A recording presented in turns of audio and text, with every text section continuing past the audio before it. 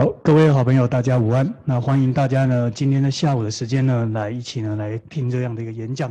那在演讲开始之前，再次跟大家确认一件事情，请大家呢把手机确认一下哦，已经关成静音啊，或者是震动的方式。好，那因为待会如果有一些声音冒出来的话，影响到大家听演讲的这个心情跟情绪哦。好，那如果都确定完之后呢，那我们的演讲待马上就开始。好，那我想今天大家来了，就是奔着一个很重要的主题哦。台湾是一个喜肾的王国，那很多人呢在很担心哦。其实有时候去做身体检查的时候，看到一些数字的时候，哎呦吓得要死！我这个数字不晓得会怎么办哦？那我会不会走到那一条路去？哦，那如何在还没走到那条路之前呢？哦，能够用一些方法哦，能够来不要去走向呢喜肾的那条路？那所以我们今天呢邀请到美国芝加哥大学医学以及化学的双博士潘。潘福士医师呢，来为大家做今天非常精彩演讲，用热烈掌声欢迎我们潘医师。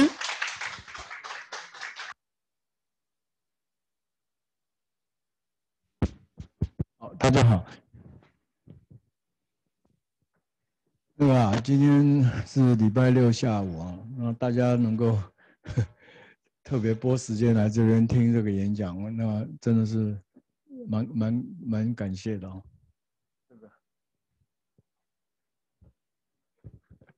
啊，荧他说现在荧幕还没切换到我的荧幕的。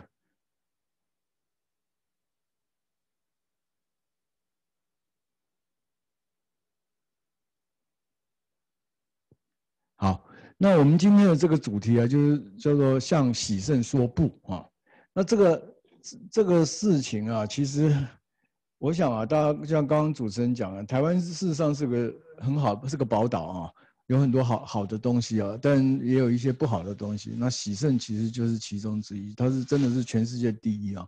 那我们今天就希望说，借由这个几十分钟的时间呢，给大家一个比较正确的观念哦。不然大家啊，包括我自己啊，等到家里的人碰到喜盛的时候，你其实你你觉得是自己好像知道发生什么事情，其实常常都是被错误的观念一直误导。那这是今天啊，我我们希望啊做的事情。所以，我们今天会谈到很多跟肾脏有关的事情。那唯一不谈的是什么？我们唯一不谈的就是洗肾嘛。你要洗肾就去找医生，就不要来了。你听懂我讲的意思吧？唯一不谈的就是洗肾。OK，那其他什么都可以问啊啊，千万不要问我洗肾的事情就好。OK，好。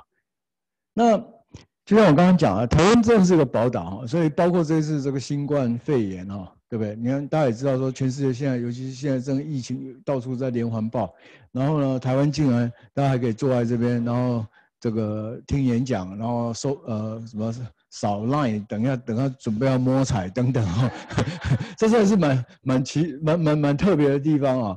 那我们应该啊懂得珍惜哈。那我们现在看看啊，台湾在这个啊，大家现在关注这个 COVID nineteen 就新冠肺炎这个事情。那这个是写了哈，台湾第一名嘛哈，有关于这个新冠肺炎的这个反应，全世界第一名啊。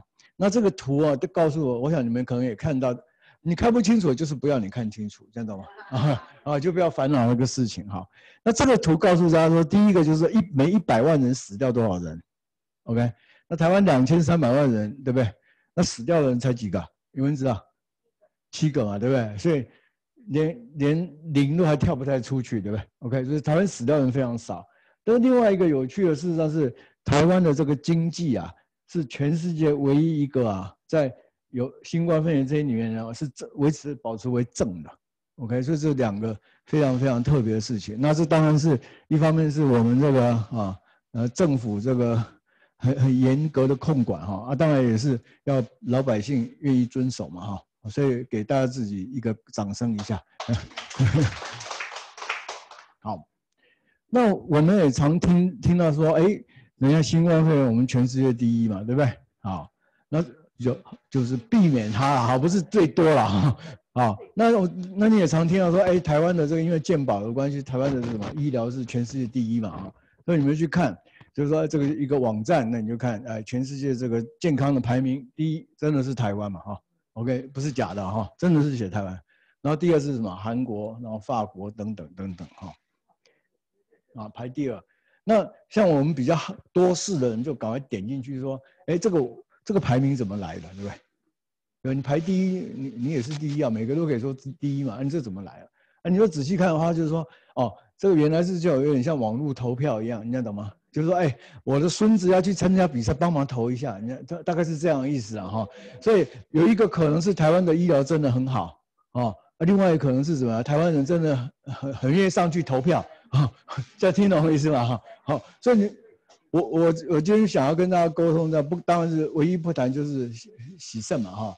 那有一个很重要的事情，我们是一定会谈到的，就是啊，跟跟大家健康有关的各式各样的事情啊。OK，好，讲的那些啊，那个其实大家要注意一个事情啊，这这个应该每个字大家看得懂，简体的嘛，哈，啊，他这写说一百六十六个国家爆发疫情，新冠啊，新冠肺炎，然后柬埔寨防疫效果，那你说台湾第几名？很奇怪啊，就听懂我讲的意思吧？因为这个是柬埔寨的报道吧，而且柬埔寨就是第一名啊。台湾的报道是谁第一名啊？啊，台湾第一名，这样懂这样懂了，就变好有点像拉拉队这样的意思哈。那你仔细去看以后哈，然后就讲说这个排名是哪里来啊？是塞内加尔经济展望办公室。所以现在这个世界真的很有趣啊，就是说你们健康是每个人都在乎了啊，所以你们。网络上就几个事情嘛，赚钱的新闻，对不对？还有是什么？健康的新闻，对不对？但是这健康新闻，你不要开自己玩笑，钱怎么常常讲钱怎么赔了，还可以再赚回来，对不对？那健康赔了嘞，赚不回来，你真的要记住这件事情啊，这一点很很重要哈。所以我们那有了刚刚那个，我们台湾说我们是 number one 嘛，对不对？嗯，柬埔寨我我们想要靠那个什么地方啊，对不对？它也是 number one 了，对不对？那我们就赶来看看，说那这个台湾这个 number one 到底有没有道理？那台湾医疗 number one 有没有道理？那我们就找一些比较可信的那个网站，叫 Bloomberg，就是全世界很重要的一个华尔街这种期刊，那可信度好一点。那他这边讲就是说，哎，全世界医疗哈效率效率的评比哈，那你们看不清楚对不对？你们看有人看得到吗？哎，看得到就就错了，要要让你们看不到。我本来问你们说，那你们觉得哪里第一名？啊，没信心了哈！刚刚一下子一开始每个都彩排上，没信心。我跟你讲啊，是所以你就看到这个小字啊，所以不希望你看到啊。香香港第一名啊，那香港第一名，你觉得台湾第几名？所以看不到了，先去眼睛先去检查一下。台湾是第八名，OK，好，这是第现在了解啊，像我们现在台湾健康排名有不同的讲法了哈。新冠肺炎有第一名是台湾，有第一名是柬埔寨嘛啊。那健康排名有台湾排第一，对不对？那你现在也有排第八的，对不对？好，那再继续看啊，我们每一年啊都会看到报纸讲，对不对？卫福部说我们的寿命又越来越长了，对不对？那到现在，全体的平均寿命已经到了八十岁，八十岁。好，那你们看一下就很简单啊。每次这个演讲不会错了。关心健康的是男生啊，一定是比较短一点啊，寿命短一点。那女生的寿命就会长一点。那你们觉得谁比较关心健康啊？男的女的？女生一定的，你不用不用怀疑这个事情。我当医生待的够久，OK。男生是超级铁齿的哦，你这样听得听懂吗？好，那现在我们现在在讨论一个比较严肃一点的话题，有刚刚那一些资料哈，我请问你啊，每一个国家都说他医疗不错嘛，对不对？啊，就每个说自己的小孩不错，那你总总要有一个办法来评评估台湾的医疗到底好不好？那我们现在问你啊，你你觉得怎么评估比较合理？就不要去讲那个自己讲的，因为每个都可以投自己第一嘛。那你觉得是，如果医疗好的话，那怎么样？你你的死亡会早还早还比较短命还比较长命？理论上应该比较长命。有没有人觉得说，呃，医疗越好，活得越短了？没有啊，没有吧？啊，好，那我们现在问你一个问题，这个答对了就有奖，等下多一张摸彩券。哎，小编呢？啊，等下答对了多一张，你们。不，其实答对可以拿很多张，没有，这最后会问的啊。台湾医疗 number one 嘛，对不对？好，现在已经开始，嗯，只有一个人同样。那我问你，台湾人的寿命到底全世界排第几？这个是主要很重要的问题嘛，对不对？你如果医疗很好，你就国民应该活得更久嘛，对不对？来猜一下，第十一，哎呀，没那么好猜啊，没关系，他才第十一，还有第在求随便猜嘛，前三哈。那那个有没有人愿意举手就猜一下？第五、第八。好，我现在看啊，给你看啊，我我演讲喜欢用英文的啦，为什么？比较好作弊，你懂我意思吗？就我的小抄在上面，你们看。好，第一个香港，OK。第二日本，第三什么？澳门，哇，瑞士、新加坡，一个一个发表怎么搞的？怎么没有台湾呢？你觉得政治因素没有排名，对不对？一定是这样讲的。哎，你果然这个民族意识很强烈，强烈到会做出错误的事情。好，那你觉得不在前十啦，这第一个啦。那你们觉得第十一呢？韩国继续发表，这好像学小学时候看榜有没有看到？放榜有没有？然后十二以色列、瑞瑞典，然后法国、马耳他、加拿大、挪威、爱尔兰、希腊、纽西兰、卢森堡，有点慌了哈。到底有没有考上啊？不知道啊，就开始有人讲了，一定不在上面了。全台湾的平均寿命三十四，OK，所以台湾的医疗啊，它是全世界第八有效率的，叫效率，这样听懂吗？我觉得台湾的医疗是全世界最物超所值的，也就是说，你拿一块美金到台湾，可以看最多次病，对不对？拿最多次药嘛，对不对？这样听懂吗？物超所值，这是真的。那效率是说，我生病了，我多快可以看到医生？这样懂我意思吗？这不一样的意思。所以效率第八。然后，如果是那个台在台湾看病啊，最划算，这懂吗？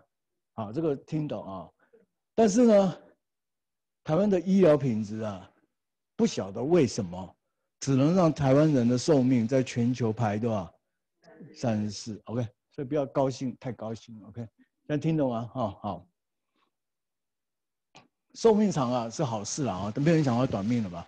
觉得活短一点比较好的，有有这种人啊，应该当然应该不会来听这个啊，好，我再给大家一个观念哈，其实人的状态分为几个状态，这个是年龄一百岁了哈，七十二十，一般人呢大概从五十岁开始老。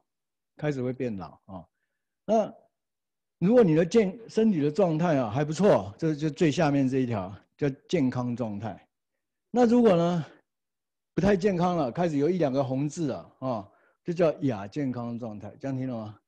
那再上去就生病了，生病生病大家都知道吧？对，有没有有没有人没生过病啊？那 你生过生过病，我我也是觉得人啊，这很有意思，一生病你就觉得没有东西比健康更重要，对不对？然后生病医好以后就是什么呀？就唯一不重要就是健康，听懂吗？好，人家听懂，所以大家不要忘了这事情哈。其实我要跟大家讲的是一个重要的观念，就是你如果开始生病，你知道很不舒服，所以我要跟大家讲说，你真的生病了，真的生病了，躺在医院啊，头痛，对不对？打药啊，什么什么什么。那你是这种日子不是好过的日子，你就要听听懂。所以大家尽量要在亚健康的时候呢，尽量想办法回到健康状态，或者尽量维持在亚健康状态，不要真的生病了啊，那不是好的事情啊。好，我们现在看看啊，台湾的这个表现现在是什么？所以说，过去啊，这个十年来、二十年来。台湾健寿人寿命确实不断在延长，现在重点是延长到底是健康的命还是不健康的命？你讲懂吗？意思是说，你让他什么生病了越久，我们现在讲最简单是，假设你有颗蛀牙很痛，OK 很痛，你希望他这边痛的越久还是越短？越短嘛，对不对？这样听懂了吗？啊，所以我们要理解就是说，台湾目前的医疗到底是在做什么？我们现在看哈。一百零六年的时候，活到八十岁，然后一百零五年哈，然后不健康啊，开始生病的时候是七十一点二岁，就等于是说他生命的最后的八点八大概百分之十一左右都是在生病，看到吗？这不是很开心的事情啊。那我们现在往前推几年，看看到了啊一百零二年，健康跟不健康的时间差了多少？八点九。所以你看有没有进步啊？八点九变八点八，基本上没有了哈。统计学上差不多了。所以我讲的意思就是说，台湾目前因为健保做的很有效率、很划算，但是它延长的不见得不是让大家变得更健康、更长寿。只是让大家怎么样，生病的时间更久。你要听了，哦哦，你要这样这样理解了哈，不要跟那个陈部长讲啊，他说我这样讲，他他一定不开心。好，那我们再就跟中台湾呢，虽然我们是最划算看病最划算的地方，但跟其他地方比起来呢，其实排不到前三名了。哦，大家排不到前三名啊，就大概这样概念。好。有那些基础以后，我现在希望你们大家静下心哈，想几个事情啊。就是你们听过一句话：“一样米养什么，百样人嘛，对不对哈？”那这是一个什么弦乐四重奏，大家在演奏哦，一定是要什么配合嘛，对不对啊？但是，每个人想法是不一样的，所以呢，我跟我可以给大家讲几个概念啊。第一种是什么？不自由勿宁死，这是西方人的概念，对吧？所以你们不要真的觉得西方人医疗退步，什么新一个小新冠，你看我们台湾人没事，你们搞那样子，不是？是西方人的本质，他是比较喜欢冒险的。OK，你你这样理解一样是吧？东方人完全不一样。OK，你们要理解这个事情啊，他宁可我自由就是什么，不用戴口罩，对我自由就是可以从二楼什么跳到。一楼骑一个滑板，然后翻三圈，对不对？万一撞撞死掉，算了，我下下一次再来，对不对？这是西方的想法，OK？这就不自由勿宁死。那东方人不一样，东方人看秀命，你知道吗？好，你这理解好。那我们现在来看啊，在座还是有对生命啊，应该有不同的看法了哈。一种是说啊，只想健康活着，意思就是说我如果生病了，算了，早死怎么样？早早投胎，对不对？这是一种看法啊。另外一种，现在开始有一些了。以前你们比较少人讲这个事情啊。其实我们在医院看多了，帮人家插管啦，反正不能呼吸就怎么样？啊，插管嘛，对不对？啊，不能尿尿怎么办？插管嘛，对不对？啊，不能吃怎么办？插胃管嘛。你这样听懂吗？脑压太高怎么样？啊，脑也在给他插个管嘛，对不对？这个就是这样，医生嘛，对不对？但是因为以前资讯比较不发达，你们不知道说，那个你们的长辈啊等等被推到那个门里面会发生什么事情，所以大家比较不会对这个事情有想法。但是由于网络啊关系，大家现在知道说什么？其实插管是很不舒服的事情。OK，最开始有人就想到叫什么？我不要插管，对不对？你看我生病要不要救？要治疗，但是呢？我不要插管，这样听懂吗？啊，那最后一类呢，就是这种好死不如歹活，对不对？听懂吗？就我不管你怎么样，对不对？ECMO 给我装什么？三个月、五个月，你就是要装上去，你 看尽量拉长那个生命啊。那你们有什么想法都不重要，但你最好先挑一个啊。我们等下会来带你怎么去思考这个事情。那替我们的。国家卫福部啊，做个广告。现在有个东西叫做病主法，有没有人听过这个法？听过的举手。代表我们的宣导做的很失败啊。病主法，你们听过东西叫 DNR 嘛？对不对？就是不要急救。病主法就基本上就是那把那个东西再往前推，就是说，我不是就不是说不要急救，不要 那个啊，我不要插管这样这样的概念啊啊。所以你们说这个叫预立医疗决定，这是。啊，卫福部现在正在推的啊，就是，所以你们可以自己选呐。所以你到底希望是什么样？走到最后一秒钟，对不对？这让那十五个护士在你那个那个胸骨上面跳舞，对吧？你叫 CPR 了啊，急救，还是说，哎呀，我生病就不要了啊？就自己大家去选。好，不管你是怎么样啊，但台湾人一定有几个怕最怕的东西，对不对？那你们觉得你最怕的是医生跟你说你得了什么？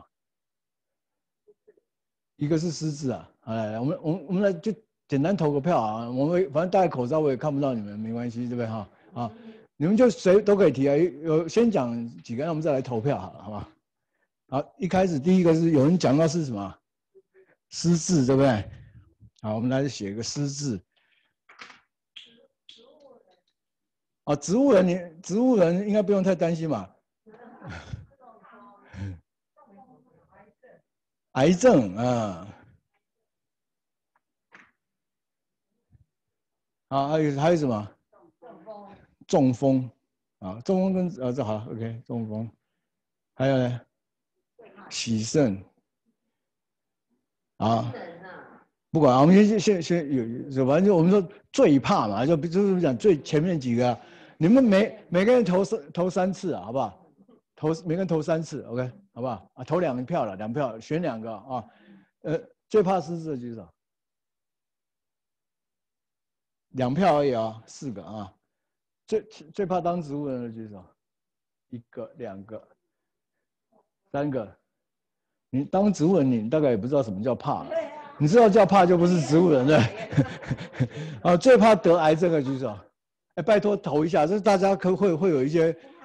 一二三四五六七八九十十一十二十三十四十四个，啊，最怕中风的举手。一二三四五六七七个，我可能算错了啊，别人是但差不了很多。啊，最怕洗肾的举手。一二三四五六六个，OK，好，我们等下。我们等下会来继续回来看这个这个结果，看大家到底对不对哈。那么我我自己在猜啊哈，我猜大家投票结果应该也是会谈是癌症第一，对我我应该可以去变魔术了啊。对你猜是哪一个牌啊？红心二，你看红心二。那癌症其实是什么？很多很多的病，OK。所以其实你说你最怕癌症本身，其实对于跟其他的。脑脑这个中风是哪里中风啊？脑中风嘛，对不对？那脑中风癌症里面其实包括所有其他的东西，所以这个比起来也不是很公平了哈。啊，来，你你懂你懂我讲意思？哎，你好，但是我们就看癌症好，什么东西？全部都算癌症，对，所以大家都怕癌症是没错，但是但不见得癌症是你把它分下来，其实就没那么没那么多了呀。OK，好。其实台湾的喜盛啊是大家出名的嘛啊，大家也是来这里，就就就好像我们的台湾的那个什么凤梨酥跟叫什么夜市，对不对？出名的，真的喜盛啊，第一啊。那你们讲第一到底是第一到哪里？是真的假的啊？我跟你讲，这是联合国统计数字哈。他跟你讲啊，台湾啊大概每这个一百万人啊，有多多少人喜盛？有四百九十三个，OK。反正就是很多了哦，好，第二名是谁？第二名真的是美国，很好，OK，这样懂吗？好啊，第三名不好猜啊，呃，墨西哥，OK，好，那当然这个原因很多，我们不要不，这倒没有什么对错，它只是一个事实而已。这边这是个统计数字，所以我可以跟大家讲，就是说台湾喜症真的是很多。然后多到什么地步呢？反正三不五时就有人来报道，对不对？台湾健保被喜盛拖垮，对不对？台湾是喜盛之岛啊，这个什么英文的啦、中文的乞丐一大堆哈。那这我们今天就是来要来谈这个事情啊。喜盛有什么不好？你你你又没洗过，你觉得家？你觉得洗肾有什么不好？啊，然后怎么样？所以呢，不自由哈，对不对？这个是我，这是第一。你看，我我还蛮会算命的啊，就算对了，对不对？第一不自由嘛，对不对？就就我们外面人来看啊，第一不自由。那第二个问题，会生病啊？你本来就生病了，对不对？嗯。所以我刚刚有跟你们讲说啊，其实我讲，不管你怎么想啊，第一个事情啊。你们觉得喜肾开始喜肾可以活多久？那我们来，我们来做个投票，好不好？可以吗？好不好啊？我们讲喜肾十年二十年、三十年，然后大于三十年，好不好？一人一次了哈，这一人一次。好，你没有不是最多了，一般的大概了哈。好，就大约啦，就不要去讲，因为每个人情况不一样嘛，对？哈，啊，你们觉得可以活洗开始洗肾以后可以活十十年的举手？开始洗肾以后零票，开始洗肾可以活二十年的举手？一个，三个。开始洗肾以后可以活三十年了，洗肾可以活三十年的举手？一二三四，四个。那没有跟反洗肾，就是可以一直活下去了，对不对？觉得这样举手？四个。所以我们今天讲这个演讲还蛮重要的。这个是啊，美国。最近做的一个东西啊，我们不要看重点，你看还老话嘛，就不要就是不要你看看的哈。这里面只只有粗体字的这一句话，好吧，黑字嘛，对不对？我把它翻成中文给你看啊。百分之六十活不到五年，是啊。不管我们不我们不不管嘛，我先我先跟你讲啊，第一个这这个是一个统计数字，你就不要就是你开始洗，OK，你大概就是。三分之二活不过五年啊！我我我带你思考这个问题啊，带你思考这个问题啊。那我们现在看癌症，你们最怕大家是怕癌症嘛，对不对？那这个是五年存活率嘛，对不对？三分之二活不过五年，这六十活不过，所以五年存活率是四十嘛，对不对？没错啊。那你现在看嘛，把那个喜肾跟癌症来比嘛，的五年存活率来比，大肠癌的第三期。的五年存活率比喜肾还高啊，这懂我讲的意思吗？肺癌的第二期也比喜肾高，乳癌的第第三期吧，甚至到第四期都比喜肾的五年存活率高。那肝癌在第二期，大家懂我意思吗？所以你们要有一个观念啊，其实这个为什么今天要推广跟大家讲这个事情，就是喜肾不是你想的某某。名医哦，他洗了三十年，我不是说没有人洗，就像癌症不是没有人活三十岁嘛，对不对？但是五年存活率还是有个比例的。所以第一个你们要有个概念，就是真的记好这一句话啊。等一下要要考就是考这一题而已，好吧？有没有百分之中间这个字活不到五年，洗肾的患者，OK？好，那你们心里想说真的吗？好，我们再抓一个数字来看啊。这你你在想啊，他我因为我父母后来都洗肾，所以我可以跟你讲，我我还看蛮多这个这个样子。一开始的时候啊，每一个进来都怎么样？哎呦，很很很怎么样？很热络，对不对？你听了，因为你怕你如果你如果一个脸臭臭的，然后护士给你用用力给你扎嘛，对，每个都 还蛮友善的。你这样听懂我意思吗？啊，护士说说，你就觉得这个没事吧？我本来是还蛮开，不能说开心啊，就。上我父父母开始洗肾，我心里都是哎喘一口气，因为还没洗以前就想哦这个什么怎么样啊，太高啊，太低啊。一开始就想啊，他们一同总算同意洗肾了，总算我的父母同意洗肾了，我还放了心了，说啊至少不会血里面的东西乱跑啊什么这样的事情啊。但是就像一样，你会看到这些人，但是你们如果知道的话，这个房间的人走到门口就拜拜的人是非常多的。OK。这样这样理解这样的概念哈，这一句话告诉你啊，刚刚有人问说，哎，那么是老开始洗还是年轻开始洗啊？这句话你们就记得吧哈。六十岁开始洗的人啊，基本上你大概可以活四年了。哎，所以像我父母当年八十岁开始洗的时候，我我也是无知啊，我觉得哎。那个不是什么什么林什么良医师可以洗三十年，我想哦，我爸我妈八十岁，不要三十年洗个十五年，至少可以洗，没门都没有。OK，八十岁开始洗只能活多久？你知道吗？啊，一年半。OK，所以你不要当不要把洗肾当做儿戏啊！哦，我讲不要说当做是 是一个对不对？好，讲完那些，我们现在开始，当然前面就是一些。客观资讯给大家。我们现在看，你要战胜喜胜，不想喜可以。是。Hemodialysis。洗肾，就血液透析的意思，对，就是洗肾的意思。OK，好。那肾脏是什么？你们大概知道，就摸摸肋骨嘛，肋是是在肋骨里面，有被肋骨保保护哈，有被肋骨保护，两两粒东西大概有拳头大这样。OK，好，那它当然很复杂，那最主要就是你的身体的一些血会从一个动脉红色这一根进来，OK，然后这个血跟这个这个黄黄这一条一条，这个就叫我们叫肾小管的一个一个一一一个结构，完中间很复杂很复杂的事情一直发生，最后呢。这个血又流回去，但是呢，在这中中间这个过过程会产生一个过滤的事情，过滤呢就产生尿液。OK，就这样很简单，就不要我不会跟你讲太多细节，就这么一个事情啊。这肾脏的功能好，那么它的作用是什么？它可以形成尿液嘛，对不对？那可以什么调节血压啊？这开始就就中文了，这念一念而已哈。可以把不好的脏东西把它排掉，然后还可以什么？跟那个血红素有关，所以你肾脏不好要会贫血就对了。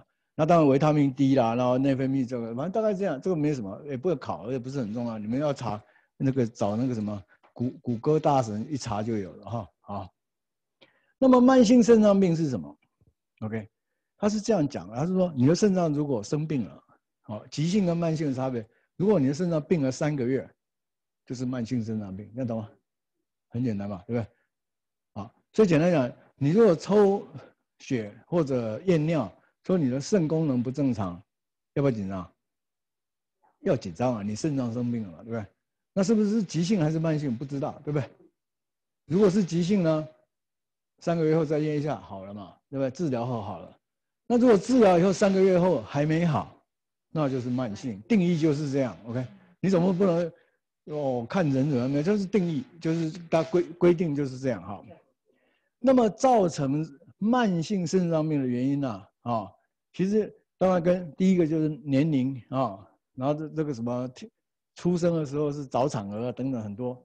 但注意是中间这个，我等下会给你，我会中文版给你看，是吧？糖尿，百分之四十四的有慢性肾脏病的有糖尿，OK。所以在座如果有糖尿，你就要要想要小心一点。那如果有在这二期有什么高血压，OK。这是最重要的事情哈，就是你要知道，就是这两个事情。所以呢，我帮帮你整理一下啊，它是这样，你们大家都担心得肾脏病，其实我跟你讲，肾脏是真的，因为它不像心脏，大家还懂一点，或癌症听起来蛮可怕，什么转移，它是一个大家，因为喜肾你们不见得看看得到喜肾的人是什么样的，所以你看我刚问的事情，大家是十万八千里，有没有？平均是五啊。零，大家觉得可以活二二二十年，呃，要听听懂我讲，这大概是是这样。所以你们第一个就是说这几个这些东西就造成了一般慢性肾脏病的原因啊。第一个是什么？有慢性病啊，有糖尿，有高血压，有什么痛风。我自己有痛风，我就是在准备演讲，我靠靠，我就看了，赶快去检查。你这样懂我意思吗？好，要要要注意。那再是自体免疫疾病就得的就少了啊啊！你如果肾结石这个也不没关系，遗传病，所以前二三四其实跟大家没什么特别关系啊。你有就有了，你中了就中了。后面两个又有关了。第二个什么？要第一个什么？吃药，什么药？吃那个止痛药，跟吃什么药？抗生素。OK，那你们现在开始知道为什么台湾人洗肾最多了吧？啊，那大大概知道哈。那最后还有一个是什么？重金属。啊，重金属是什么？就是所谓的铅啊、镉啊，什么有的没有那些事情。所以大家知道，至少哈，你们要记得这个事情。你有糖尿病的，有高血压，有痛风的，然后，那又喜欢怎么样？去医院的，对要？懂我意思吗？去医院的，那医院你想要去医院，我不开药可以吗？我跟你讲，医生不敢不开，OK？为什么？他不开药会被骂的。我我在市立联合医院看诊，我有有时候我来，我跟他说啊，这个不需要药。他说我付我钱挂号，你怎么不给我药嘞？你懂懂我意思吧？这个是这样啊，所以叫自找的，懂吗？那最后重金属，OK 哈，这个就是慢性病造成慢性病的一些原因了哈。那你们现在这个就一样，把这个整理一次：糖尿、高血压、心心血管，那有蛋白尿，然后有痛风，对不对？这个哈，然后再什么？常吃吃药的，然后有遗传的，然后抽烟的，然后胖的，OK。但这里面有个很特别的东西，你们我不知道有没有看到？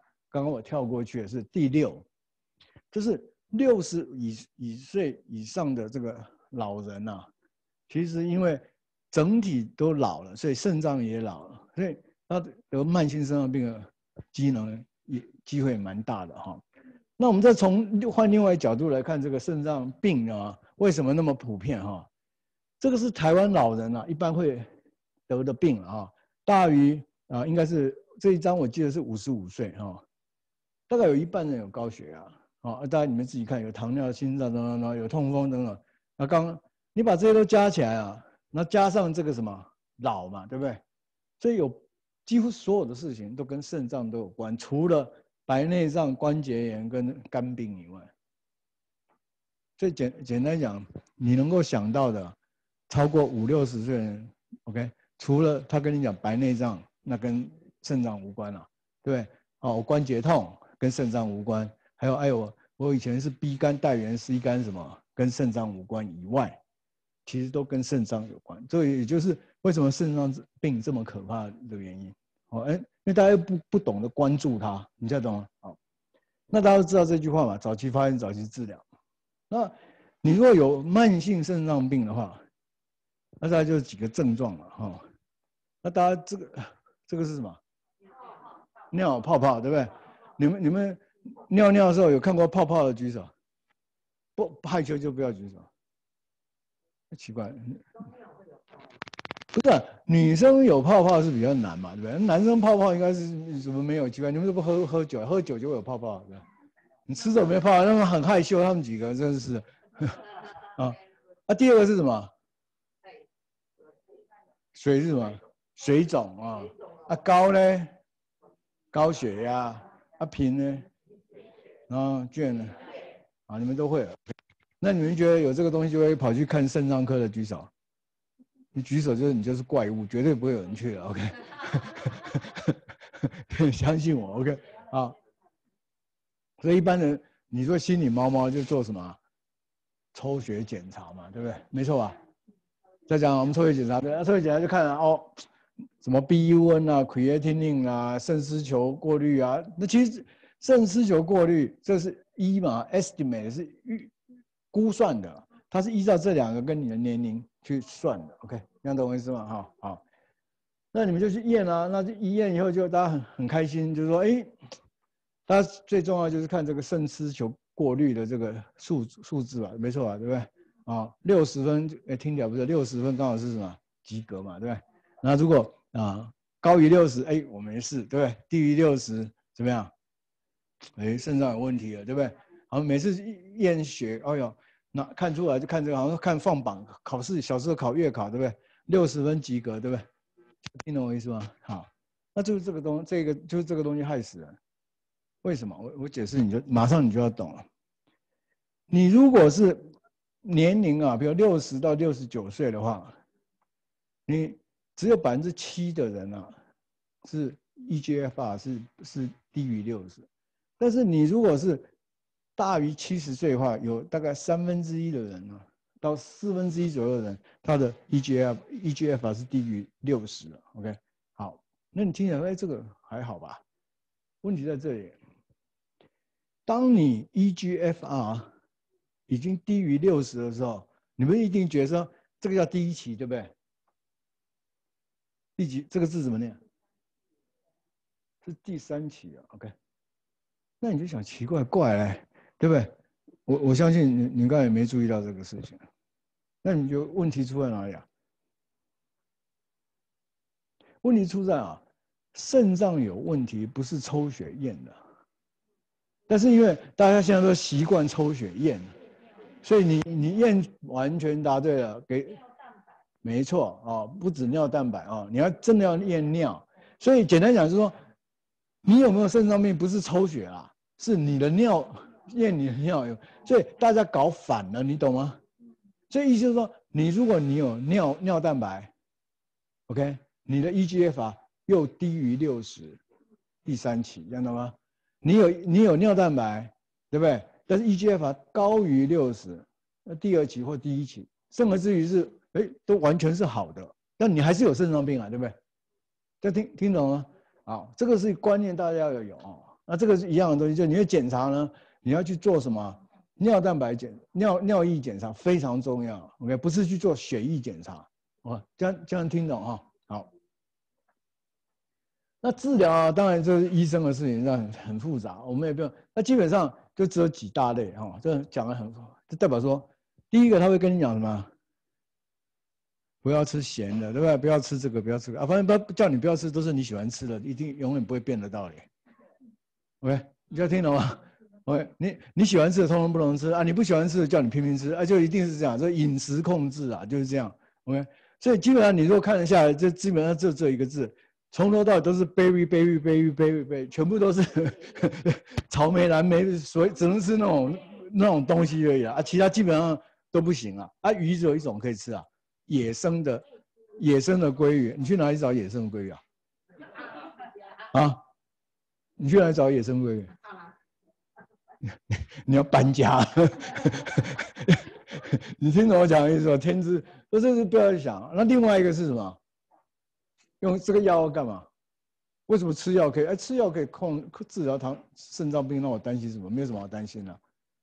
不是，这个药是控制你慢性病的药。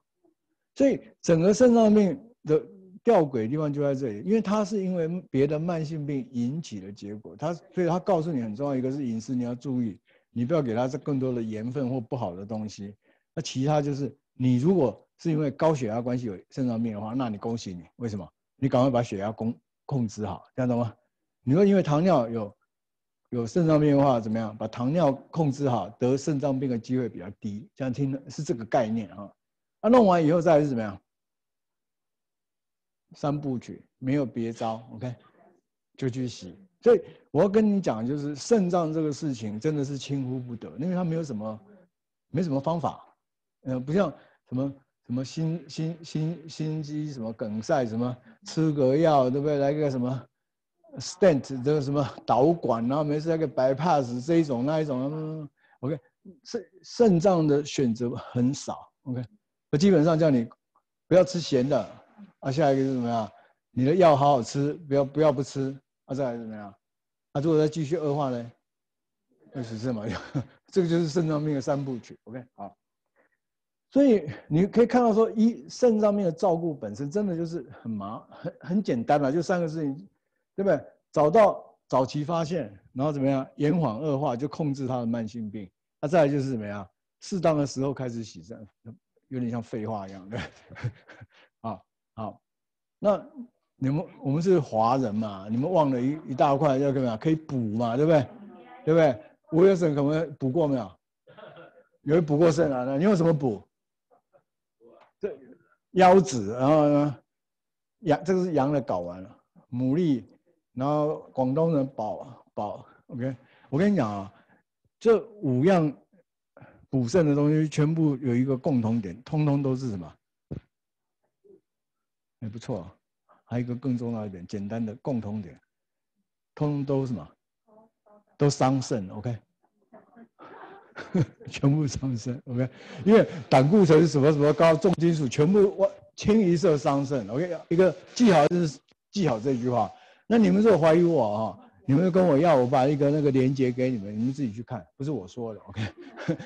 这样听了，所有补肾的东西通通伤肾，记好这件事情，OK？所以你没有别的办法，OK？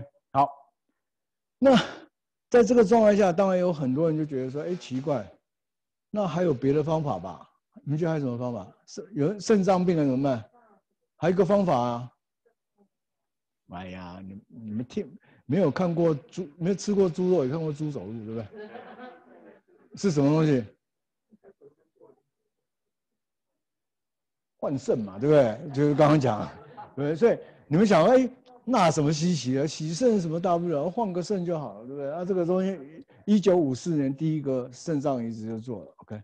那然后这个是一九九零年诺贝尔奖，也是给给这个换肾、肾脏移植啊啊这样的一个事情啊。那么换肾呢，其实肾脏当然是一定要有一个。人愿意把肾给你嘛，对不对？那可能是你的亲戚、你的小孩，对不对？或你的爱人，对不对？或者能爱心捐赠出来的哈。那肾脏要健康的，对不对？像我们先不要讲那个还很复杂哈。那就这个拿来就装在哪里？就装在这个属膝部这个地方。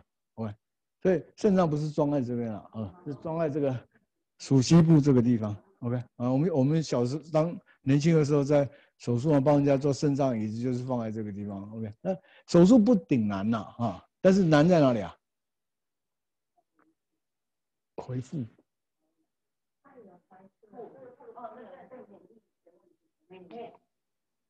你们果然都非常乐观，应该都应该都上过刘教授那个正念的课。你的前提是什么？要肾啊，对啊，那个麻烦在哪里？手术不难啊，对吧？你你能找到肾，我就帮你弄啊，对不对？你没有啊，对不对？你听懂是吧？好，所以第一个是吧，等候名单很很长，而且怎么样，有有年龄限制。OK 哈，其实啊，我们平常啊，最近为什么要讲肾？因为肾脏其实本来不是我真的很很在意的一个东西。那我跟你讲个故事，我刚好有一个朋友，大概四十几岁，他几年前啊，我在马路上碰到他。就老朋友一样啊，他说：“哎，好久不见。”他说：“啊，潘医生，我说你怎么喘成这样子啊？”我说：“这个有点问题哦，赶快去国泰看我的朋友哦啊。”一去看是什么？病毒性的心脏发炎，哦，就是心脏心脏感染了。嗯，那怎么样？就帮他治一治，哎，就好了，对不对？那台湾人也很简单，对不对？生病的时候要床位的时候怎么样？大哥，对不对？那那好了以后呢？就不见了，你知道吗？这这是很典型的事情。我们当医生久了都知道。OK，就但我们是出于善意帮他介绍他去看病嘛。啊，那好了，我我知道这个事情。然后两年以后又打电话给我了。OK，那他说：“哎，好久不见。”我说：“对啊，好久不见，最近怎么样啊？对不对？”他又开始在喘了。我说：“你怎么那个心脏又来了？又得这个病毒感染了？”他说：“不是，我已经在洗肾了。”就听懂吗？OK，所以。有些时候不是大家想的那个样子。OK，肾脏有两种啊，一种就是它可以从 creatinine 啊，就是肌酐酸，它从啊六，我们讲六十到三十啊，有些人可以花二十年、三十年，慢慢慢慢变坏；有些人可以半年内从六十变成三十，这样懂我意思吗？就是叫我们叫做这个断癌式的肾肾衰竭。OK，很快。OK。所以，如果你肾脏开始有点症状的时候，不要开自己玩笑，OK？因为这个不是赌那个叫什么俄罗斯轮盘，你你听懂吗？没有办法，你不知道你是哪一型，所以你要真的要处理，不要当做没事，OK？好，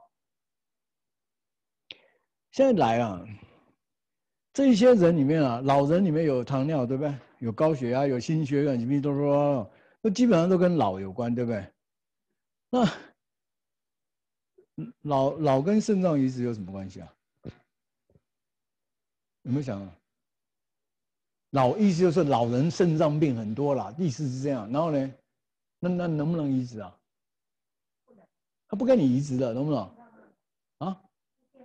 不是，他有肾脏有肾脏的时候，他先给四十岁的，他不会给你六十岁以上的。你慢慢想吧。OK，老是排不到的。OK，你这样听听懂我意思吗？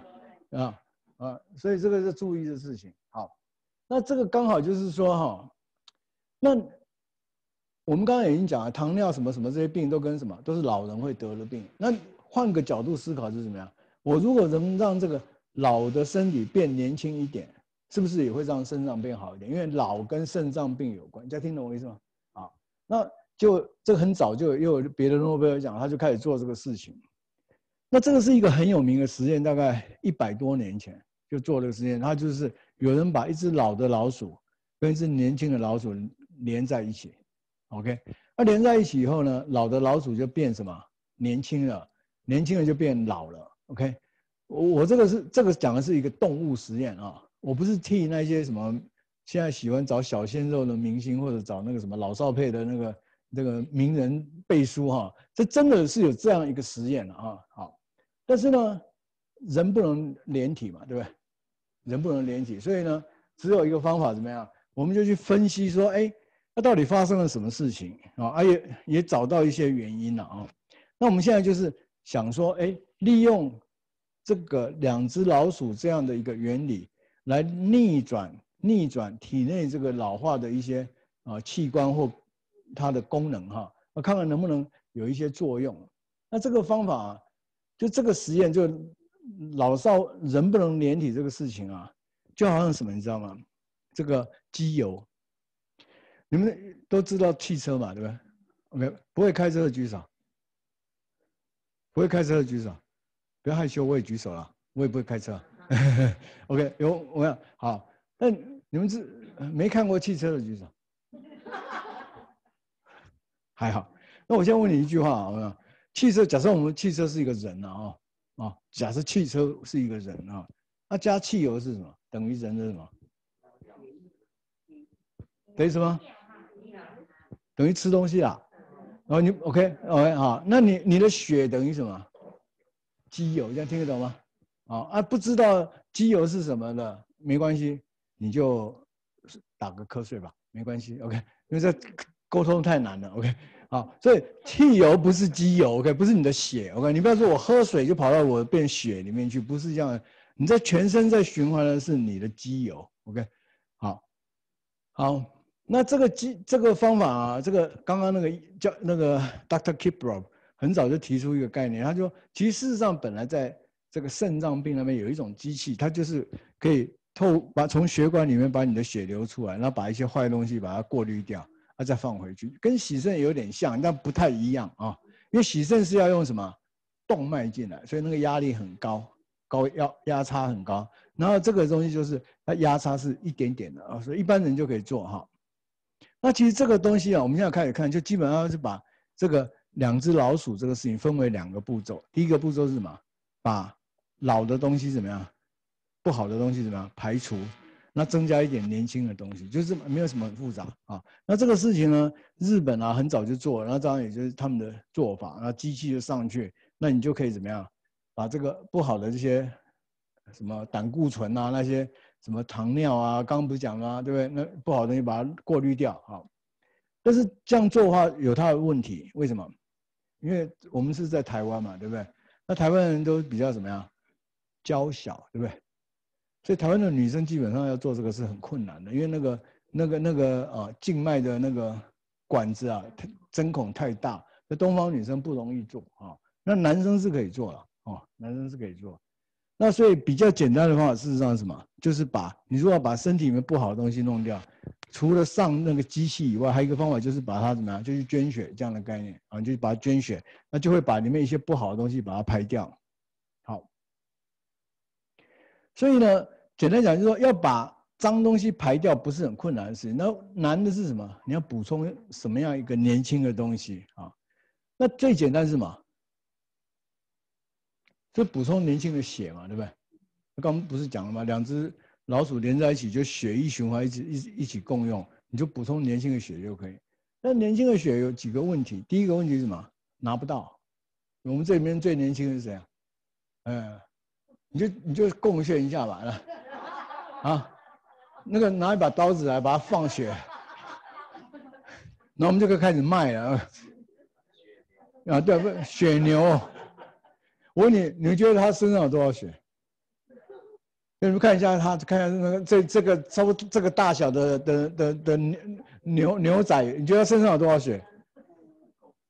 用公斤来算，来开始来，你猜猜看，啊？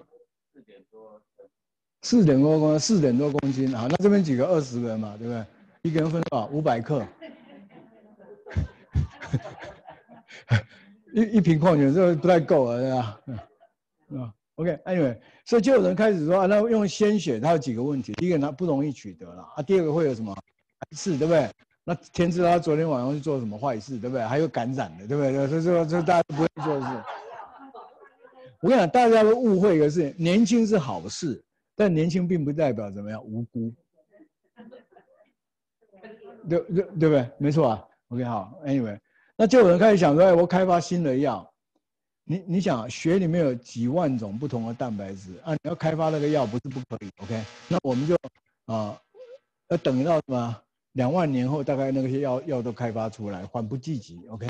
所以就他们就想，其实比较简单的方法就是什么？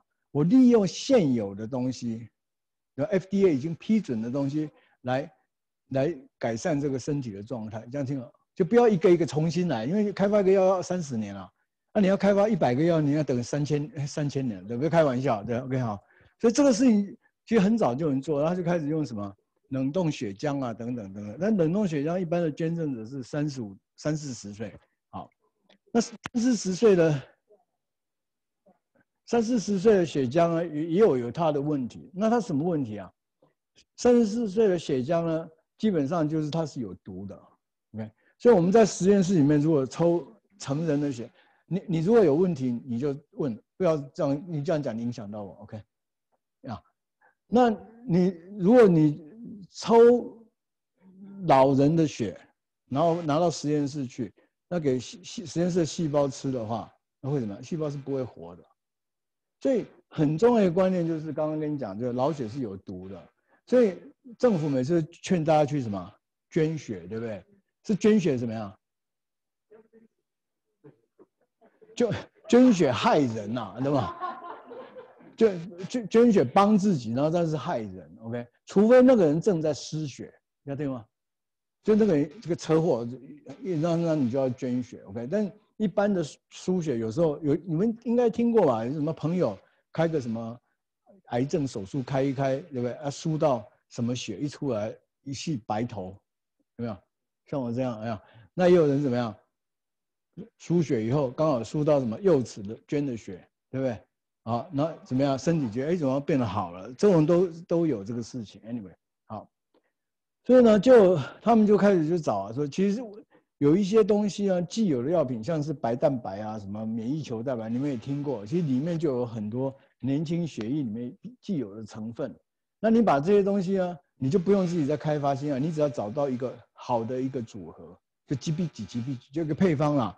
OK，有点像什么？每次我讲一样，就像调酒一样。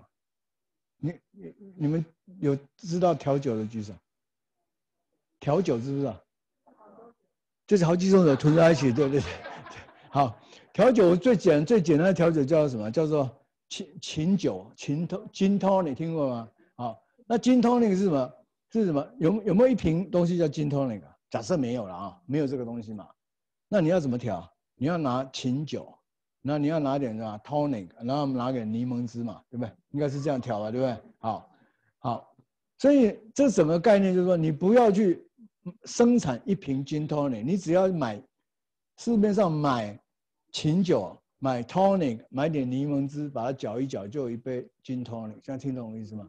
一样的概念。所以，因为你为什么这样做比较快呢？因为很简单，因为琴酒 tonic 跟那个柠檬汁。都是已经被批准的东西，所以跟你们女生喜欢打那个什么美白针有没有一样的概念，并没有一样东西叫做美白针，没有这种事情。美白针是一针的维他命 C，一针的犬沙蜜，一针的这个，一针的那个去混起来的一个东西啊，是一样的概念。好，那么我们要调这个啊年轻的这个血里面的蛋白怎么调？基本上血里面有四种蛋白，那一种是年轻跟老的时候都一样的蛋白，这是不用调。那另外一种是年轻的时候没有，呃，像他还没学坏以前是没有的。那开始学坏以后就越来越多，这个叫坏蛋白，听懂吗？啊，那有一种是什么？越老越少的，这个叫做什么？好蛋白。那最后一种是什么？青春期的蛋白。OK，这样这样理解。所以你们其实我我们。人嘛，就是活着，每一一天一天过。其实很多人都忘掉你青春期时候的样子，对吧？因为青春期大部分都在干嘛？你青春期在干嘛？都在考试嘛，对吧？你哪有时间想别的事情，对吧？光考就考到什么，哪知道什么？所以大家忘掉那个青春期的时候，你的那个其实长高是超快的，哦，所以那时候的血液跟那个青春期的血液跟所谓大学生那边其实是很不一样。你大学没有人再继续长了嘛，对不对？但在十五岁的时候，你这边在那 K 出的时候，你是长得很快。那里面那时候的血里面有一些特殊的蛋白，让身体可以长得很快。对，就是这样。那这个技术啊，就是我们叫做利用这个调和的血清呢，来当做一种逆转老化这个器官功能的这种这种技术呢。它事实上就是在 Time，就是时代杂志二零二零，那得是有得奖的哈，这样的一个技术。那我们也就是把这个技术呢。慢慢拿出来应用到一般的哦其他的疾病上面去哈。那我们今天讲的是肾嘛，对不对？我们刚刚已经讲了肾脏目前治疗有什么方法？第一个是饮食嘛，对不对？再来是什么样？控制好你的慢性病，啊，再来就是什么？洗肾嘛，啊，再来？换肾。但你如果太老就不用想了，你轮不到。OK，啊，还有一个什么？还有没有别的？第五个是什么？就是我现在跟你讲了嘛。把 把自己的这个老的血放掉一些，换一些年轻的血进来，这就是我们叫血浆疗法。OK，是可以。所以你们最近不是听了武汉肺炎吗？武汉肺炎不是已经得过那个疾病了？你拿他血可以用来治病啊，血可以治病啊，就是这样一个概念。OK，用血来治肾脏病，你们可不可以看得到啊？这边啊，这是有个患者，他的 eGFR 是到三十。OK，三十点七六，那经过一两次换以后，慢慢慢慢回升到七十四。OK，那七十四后又掉到四十四，因为因为还蛮贵的，对吧？你听懂吗？因为那人性嘛，我做一次哎好了，那我就不要，我就把它停下来，我要看看怎么样。然后那下来以后又开始做，又上去了，又跑到六五六四，大概是这样的事情。哦，就这种案例，这个算是反应不错的案例了啊。但是这种案例，我们因为我们在做这个。血浆置换的时候呢，这个所谓调和血浆置换的时候，已经看蛮多案子，所以就来跟大家讲分享这个事情，就是说其可以是可以用这个东西来来至少管控这个肾功能、慢性肾脏病的问题哈。那另外这是我们在美国合作的对象啊，他在去年二零一九年的时候把临床发表哈，你可以看到一个事情，就是说这个是治疗的时间啊，OK，他从零呢到一一年半嘛。五百四十天，你会看到它的 E G R 不是一了啊，这个是一开始的时候当做一，把它归什么？中文不会讲，normalize，normal，normalize，就是归零就归为一就对了，就起始点就是一就对了啊。那你可以看，当然不是一下子就是天天这样上去啊，不是这样，人体不会这样，它会上上下上上下，但基本上呢，它的这个整个总体而言，它的那个肾丝球的过滤率啊。可以增加百分之十二点五，OK？那你当然觉得说，那什么稀奇了？十二点五而已，对不对？你如果是五十啊，增加十二，蛮开心的。你要听懂，OK？你听听懂这个意思啊？好，那这个那其他的一些刚好也也会附带的作用，就是你如果做这种血浆置换，会有那个什么糖化血色素会掉啦，三高会降啊。那这些东西呢，其实跟肾功能的改善，其实可能。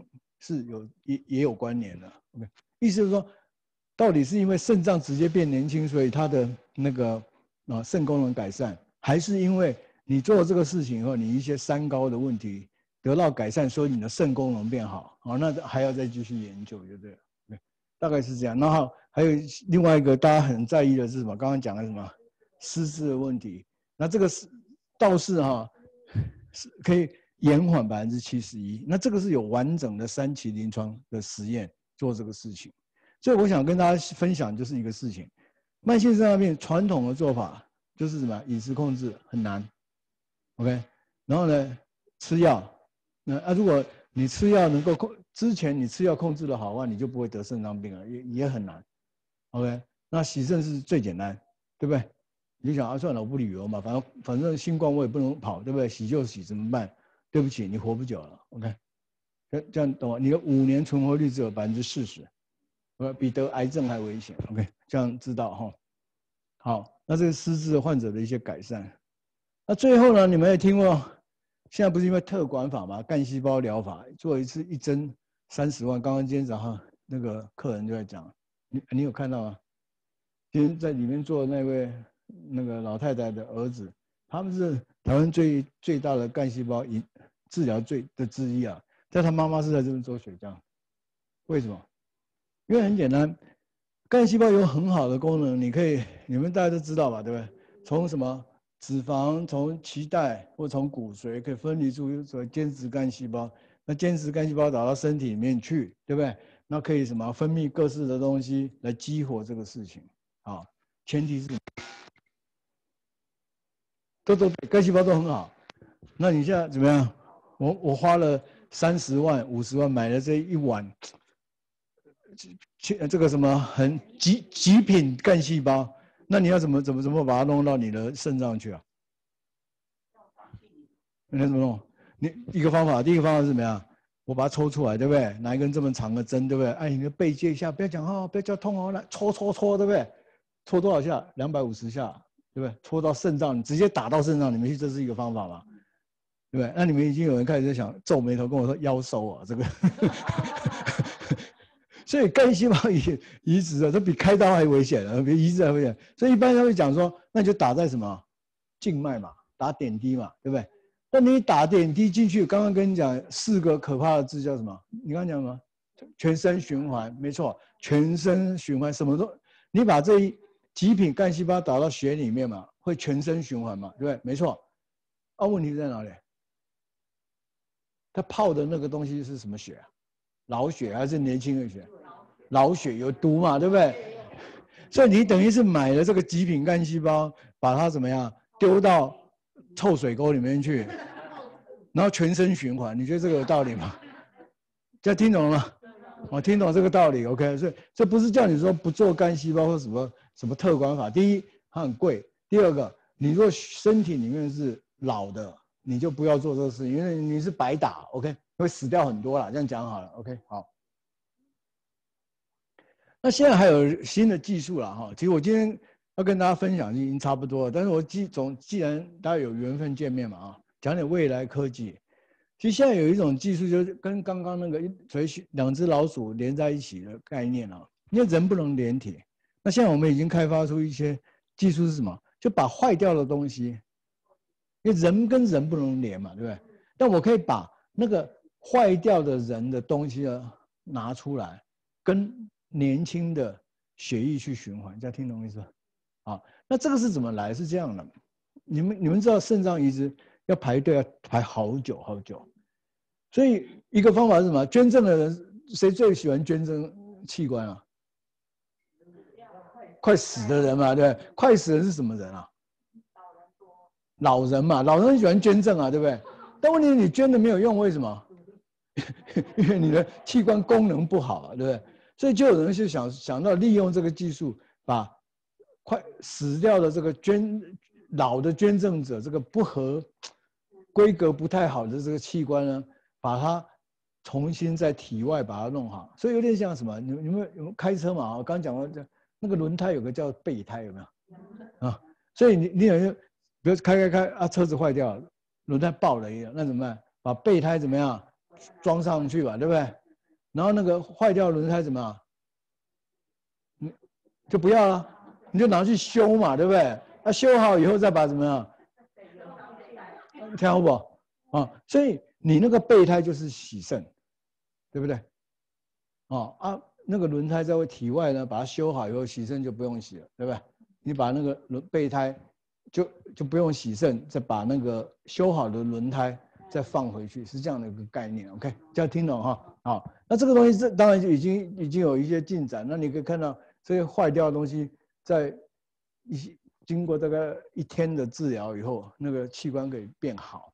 所以，你如果问我说以后肾脏会变成什么，会变成什么状态？当然没有人想要没事去开刀洗肾了啊，因为而且你洗肾也不是长久之计，可能会有很多的我们叫做，就是刚刚讲的备胎型的洗肾。所所以简单讲就是说，因为人只需要一个肾脏嘛，对不对？啊。那假设张三这个肾脏不行了，快要洗了，比如 eGFR 掉到小于三十，对？你不要等到最后一秒钟，男生最喜欢就是等到最后一秒钟，这真的很奇怪。可是好好的不来问，那就一定要等到最后一秒钟问。OK，好，那怎么样？以以后的科技就会说，哎，eGFR 比如小于三十，那你就把他肾脏怎么样取出来？那是小手术了，一个一个小洞拿出来，OK，那你就开始洗吧，洗肾嘛，对不对？那洗肾的时候呢，这个。拿出来肾脏，我们在体外想办法让它变回正常，然后恢复一些功能。就听懂听懂这个意思？啊，等到恢复功能好以后呢，再把它放回去，听懂啊？不是放回原来的位置啊，放到这边了。OK，这样这样这样听懂啊？好，这是未来我们正在努力的一一些技术哈。那对于你而言啊，肾肾功能到底不好嘛？哦，那怎么办？其实你你们在座哈，不要说自己了哈，包括你自己，有认识肾功能不好的人，请举手。你们都朋朋，你们如果有超过六十五岁，大概肾功能都不会太好，要不要验一下？看一下，哎，好，都大概会有这些问题哈。那么你如果 eGf 啊大于六十的话呢，你就第一个，就我刚刚讲，你要改变生活习惯，控制好你的慢性病。那你可以做一些血浆置换哦，类似这样的一个治疗。那如果呢，你已经小于六十了，那你就要积极一点，你可能可以考虑先把这个血变健康，然后再做一点干细胞移植，然后可能会刺激这个啊肾脏的，可以让它再多活活久一点。那你如果已经小于十五，你就真的要开始洗肾了。那赶快怎么样？想办法塞红包，对不对？看看能不能个器官移植给给柯市长，看看能不能给你排名往前移一个。这样懂这个意思吗？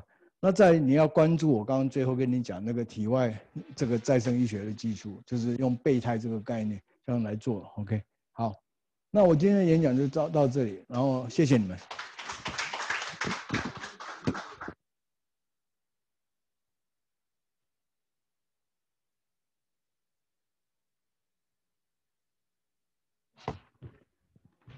好，呃，我想今天今天的演讲非常精彩，我想大家非常有口 那个耳福哦，因为大家今天听到最后一段呢，基本上呢，他已经呃在不久的将来应该会慢慢的会实现哦，那他绝对不是一个拍电影的情节哦，所以呃是蛮开心的，今天呢大家能够听得到。好，那刚刚潘医师在演讲过程之中呢，来在大家有没有什么样的问题想要问潘医师的？来，赶快把握一下时间跟机会。要不要直接问潘医师有没有？像像医生呢，刚刚说那个换血浆嘛，那以现在的医学技术啊，比如说那个血液到底可以保存多久？譬如说，如果可以保存很久的话，也许我在十五岁年轻的时候，先把自己的血拿出来很多储存起来，等到五六十岁我再把它换上去，可以这样做吗？你可以，因为你看起来像十五岁。现现在年轻人啊，也许他可以装我我我跟你讲啊，血啊。血是生命的秘密。几千年前啊，希腊、中国人都认为血就是生命的秘密，就在里面。虽然我们科学很进步，你肾脏可以换，心脏可以换，大家对血的了解还是不够啊。哦，所以您问的很好，其实重点就在这里。你就算说有这个概念，你有这个钱，那或者说你愿意牺牲你你你旁边的一个十五岁的人，来把没有你不是牺牲他，就要把血拿出来而已嘛？你你讲的完全是重点。它的活性到底能保存多久？没人知道。OK，他现在大家就跟你讲，血库可以放多久？那个只是说哦，输血那一部分，你看到吗？就是输氧的那一部分，跟老化这一块都没有人知道。所以也就是因为这样，所以最简单的每个都要想的事情，最简单，我跟你讲啊，怎么样？很简单嘛。啊，你年轻，对不对？刚刚那个嘞，那个血牛在那边，对不对？对不对？他今天晚上约会，我说哎。来捐一点血出来，我当场买当场用，这是最简单的事情嘛？对，那也有人做这个事情，在美国就做这个事情。但是你要做这个事情，你要先想清楚，我要抽他的血是不难，但是他过去六个月到底做了什么事情，我是真的不知道。你要听了吗？这样这样听，你说他不干净啊？我是不知道啊，有可能不干净，这样讲，哎，不要介意啊，不要介意啊。你你听懂这个意思啊？所以就算说你有年轻的时候存了，你约你或你旁边有年，除非你旁边有个年轻的人，就刚好你的小孩，OK，很听你的话，对不对？啊，你刚好愿意投资五只 iPhone 跟他换他的血换五次，那你要投资五只 iPhone，你干脆来跟我比较快一点，五只 iPhone 给我，我也可以给你啊。你听懂听懂这个意思？所以你讲的是个重点，所以。其实所有的东西啊，大家不要太被科技去去搞迷糊了，没有那么难啊。其实它的道理其实都差不多，但有些时候就是大家渲染嘛，对不对？全世界新冠肺炎做做的最好是哪里？台湾嘛，不是渲染嘛，对不对？那你去柬埔寨，你说台湾最好，然后你再再说一次，去遣散回国，对不对？都都都是这样来的，所以所以年轻的血液确实是好东西，但是你如何去取得它，然后又不要被它害到，那是那那还是有有待克服。OK，那只是说我们目前因为有一些制剂，生物制剂，它是用年轻的血液去做的，那那种东西都是几几十年、可能五六十年的药品，它的稳定度是被检验过的，所以那一些东西是稳定的。对，所以你看，我们平常在帮人家调东西，有些东西就是没办法，你就是只能从实验室，就叫什么，要什么生猛海鲜做的，对不对？你不能不能冷冻，要新就是要越越越新鲜越好，就是这样。你看，刚刚有提到说这个老啊，那这方面的话，因为我也听说宋美龄啊，嗯，他是常常在换血，是活了一百六十。那请问一下，您刚刚讲的，那那我们是常常要去这个捐血？害人了。是不是？不是，对，是不是要换把那个血嗯，没错，输血啊，嗯，呃，捐血啊，跟那个血的再生方面可不可以讲？好，我跟你讲，人健康人的捐血啊，你可以捐，男生可以捐到五百了，OK，女生两百五十，这没有问题。那你捐了以后，他捐血中心你就去翻他的现在该难，他会跟你说，哦，你多久里面可以再捐一次？那代表说你的你的骨髓里面的再生红血血红红血球细胞会再生回来补到你的不足，这个是没有问题。你如果需要捐更多的血，也不是问题，因为我你假设啦，你就说，哎，我想要变好一点，快一点，我不要半年一次，我我到呃我的肾脏变好，那要等多久啊？对不对？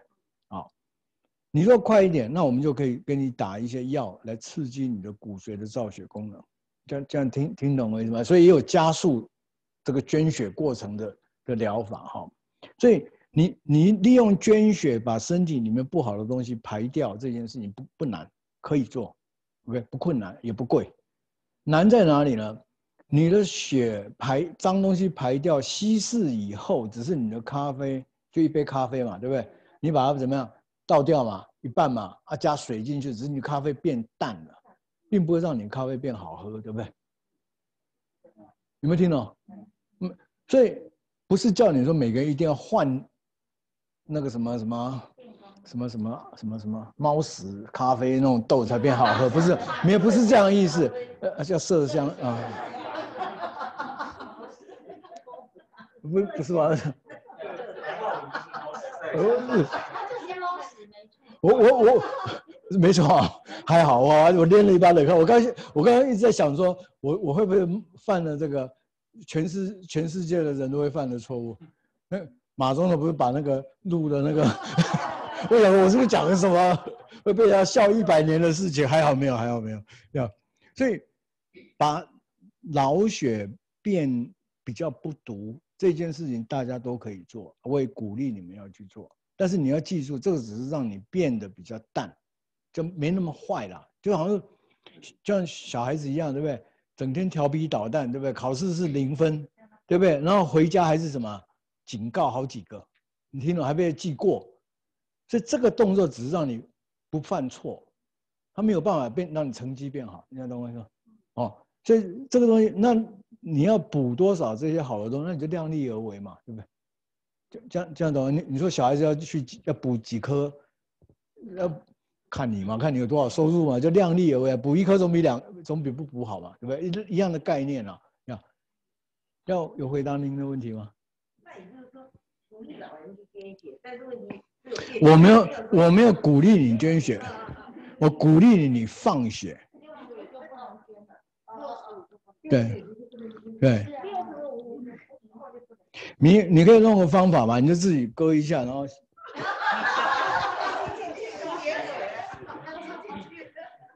不是这个蛮有效的、啊，你就也不用害人，对不对？对。没有，没有什么关系。没有喝水，你会认为稀释？就刚刚我就一开始就讲那个那个，你把汽油当机油的一样那个概念的。嗯，所以把。把一些老的血液的机油把它换掉是对的啦。OK，你这这样听懂没有？那你你你看是不是很有意思？问问题的都是什么女生？但是你们女生已经换血换了一辈子，对不对？你听懂了？所以你看，所以女生为什么会比较长，寿命比较长，懂了吗？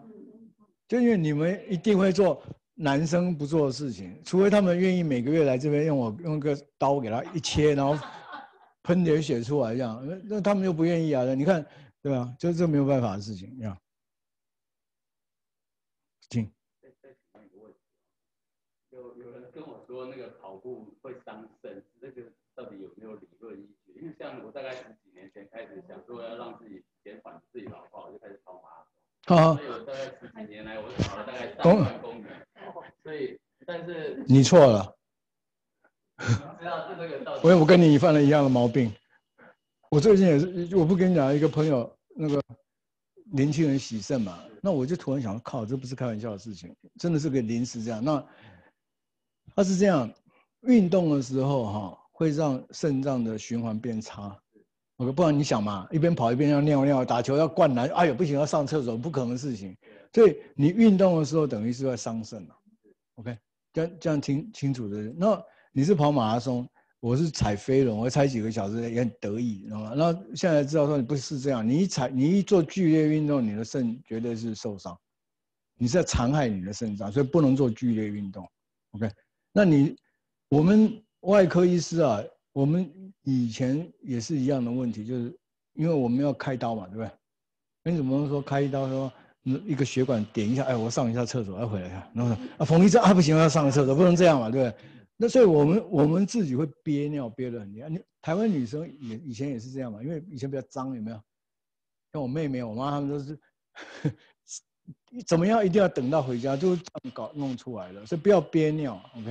然后不要做剧烈运动。我可以跟你讲，我会劝你不要剧烈运动，但是我自己还是做了。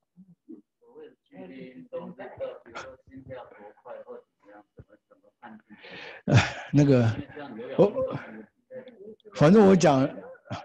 我跟你讲，我跟你讲，事情是这样，所有的事情人家只会能跟你讲，比如说啊，比如啊，喝酒不要过量，那你就开始讲说，那到底是十五 CC 过量还是十七 CC 过量？你就不要去，不要不要，男生就最喜欢这样，啊，不要剧烈运动，你自己要告诉自己，真的不要剧烈运动。如果你担心这个事情的话，那如果你无所谓的话，你就拼命去剧烈运动，反正身体是你自己的，OK，对，那你要说，那我这个到底是不是马拉松？哪一次马拉松的第第跑的哪一段造成这个天知道这个事情？你你这样想，没有？医学是个艺术，它不是一个科学。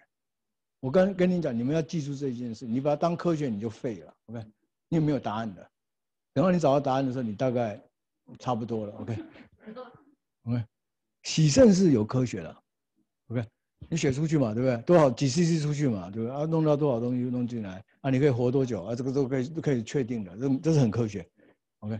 但是人体的健康这个是很，你你要有正确的观念，你不要铁齿，真的不要铁齿。男生尤其是 OK，你你你听到每次我我演讲够够多，你看永远都是这样。女生很务实的，他们一点点好，他们就会去做，一点一点一点这样子。男生一定是什么？不见黄河不落泪，OK。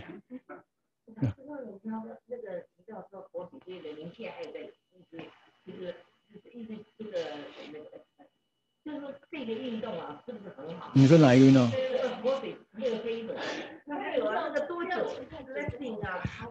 我我我跟你讲，所有东西都不要过头就好。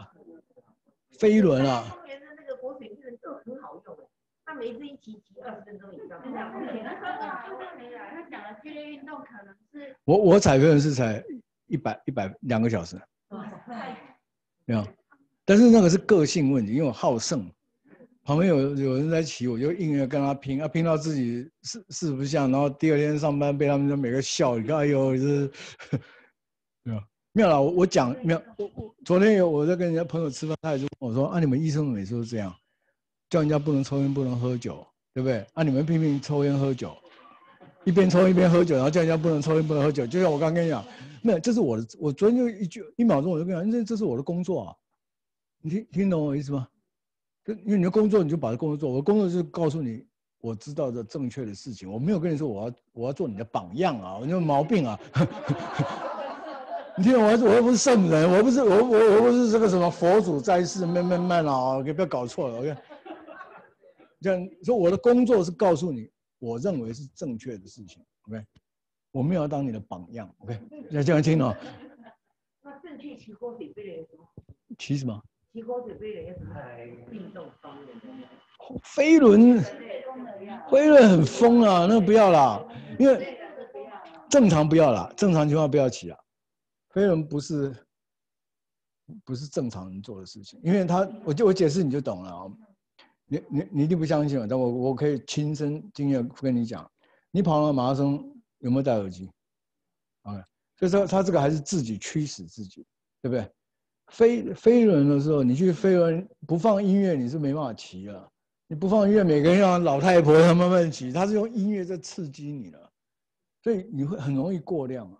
你你懂我意思？就像你一边跑马拉松，我给你放那个什么电音，有没有？你就像像傻瓜一样，那跑回来你就，你你懂懂不一样不一样。马拉松你那个可能还是自己驱动，那个飞轮是有外在的的刺激，啊。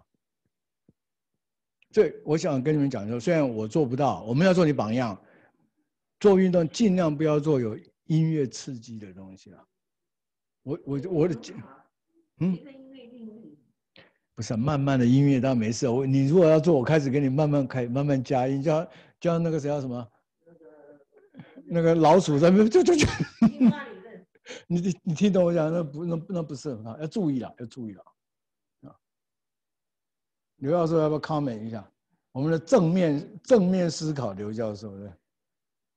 那呃，我想刚刚也知道一些就是要怎么样去调理好，而且自己是好。那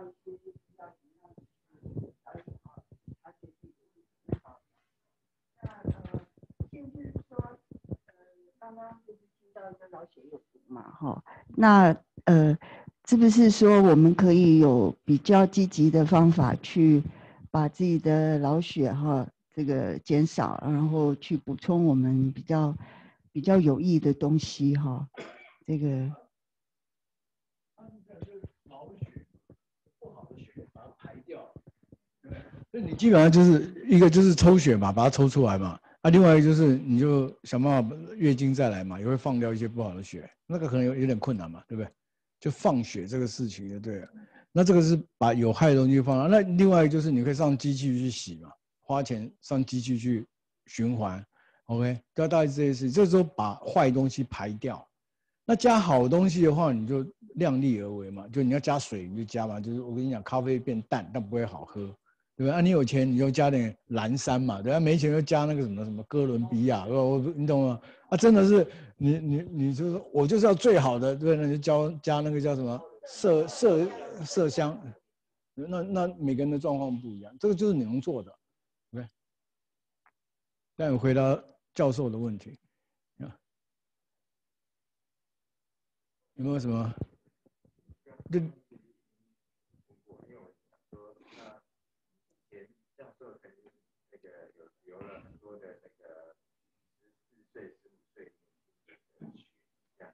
他刚刚也是有听到那的部分的，那未来因为都有干细胞储存，那如果用同样的方法可以，你你可以储存干细胞，那是容易的，因为你看得到，对不对？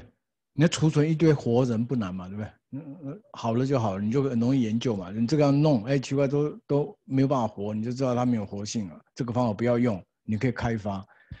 生物的活性你看不到，真的看不到，所以那个非常非常难。呀，因为我我我很早在芝加哥大学、宾州大学，我们有做这种，那那我我可以另那是另外的主题啊，那很很非常非常专业，对。啊就蛋白质的保存技术是非常困难。我我讲的是你们这种，你们都知道那个槟榔嘛，对不对？我我是真的不吃的，不是假的啊，不是劝你不要吃，我自己吃啊，我是不吃槟榔。那槟榔怎么保存？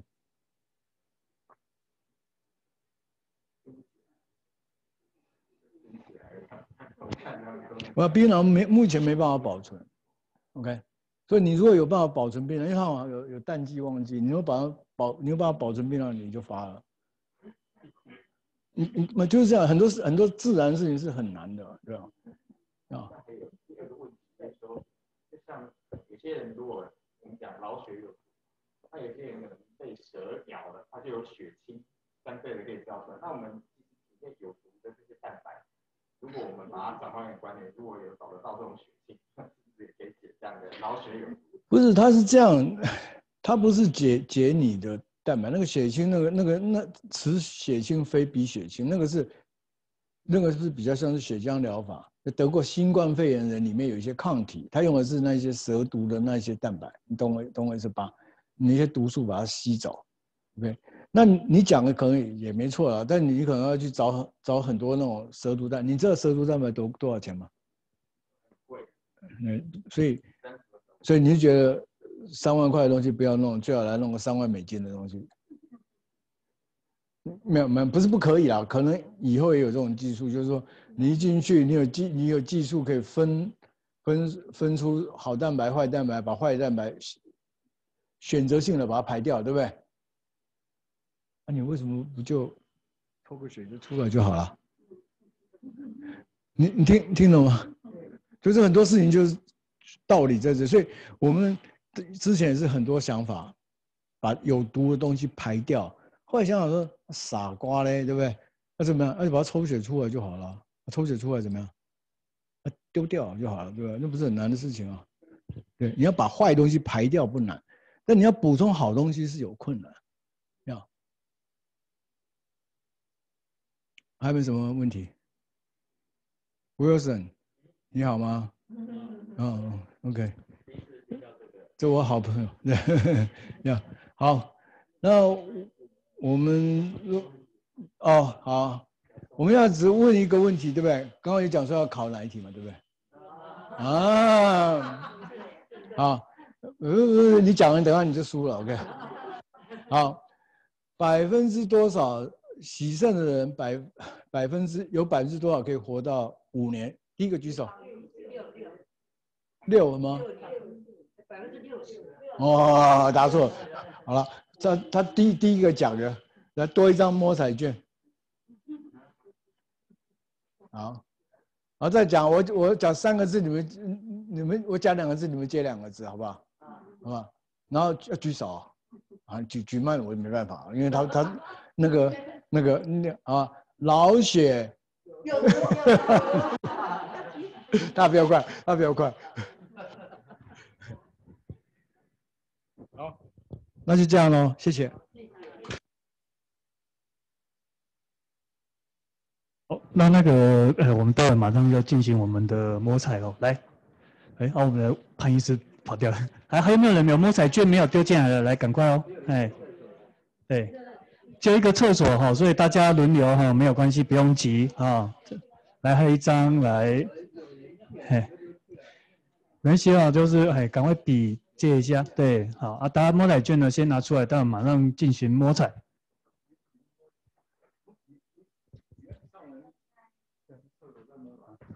哎，没事，有些人对啊，有些人抢急了，要离开。好，还有没有人有摸彩券没有丢进来的朋友？哎。好，没有关系，哎，刚刚临时追加的，哎，来撕下来一张，然后把它丢进来，哎。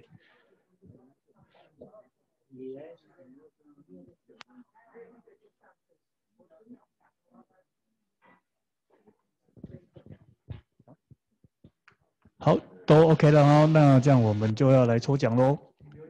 好，好，都都丢进来喽。好。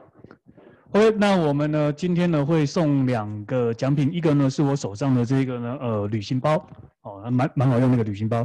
第二个是蛮特别的哦，大家猜一看这是什么？这个呢是用用你个人的脸呢去做出来的一个钥匙圈，哦，这个呢是一个呃三 D 面具制作的一个技术哦。那这个脸大家知道是谁吗？在那边，这位美女。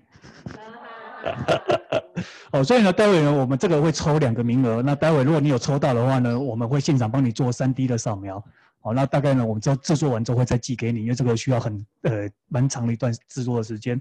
好，OK，那这个就一份哦。那我们所以我们今天会抽三个。那我们先，我们还是请刘教授，教授帮我们抽抽奖，好不好？哎，看看看看今天有来来来，请到中间来，来来来，美女们来，请到中间，哎，公平、公正、公开，哈、呃，先先先抽旅行包好了，嗯，好，来第一位得奖的是编号六号，哎呦，你看有用有问问题的就容易得奖，每次都这样。六号哦，来来来来来，哎呦呦，恭喜恭喜，来来来来来，教授教授，来来来来来来，请到前面来来来，哎呀，恭喜恭喜，你看多好，认真那个上课，然后问问题，那就会得奖。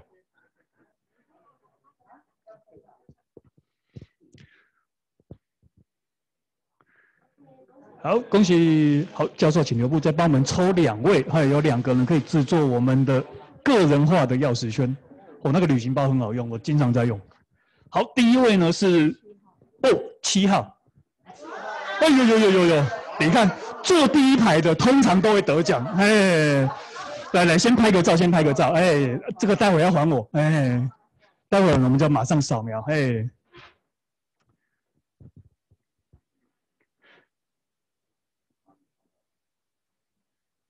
好，谢谢。来，哎，来来来来，对对，待会我们就可以扫描。来，最后一位，还在抽最后一个，看看会抽到谁？来，哦，五号。